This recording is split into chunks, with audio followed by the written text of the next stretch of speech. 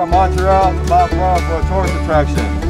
25 cents, you're able to give a tour with three people on board. You got your motorman, your brakeman, you also have a tour guide who speaks French and English. This car retired around the 60s.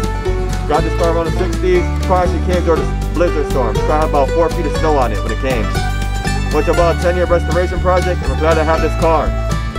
We also do use this car for our Winterfest event. For that time, this car is actually decorated Christmas lights.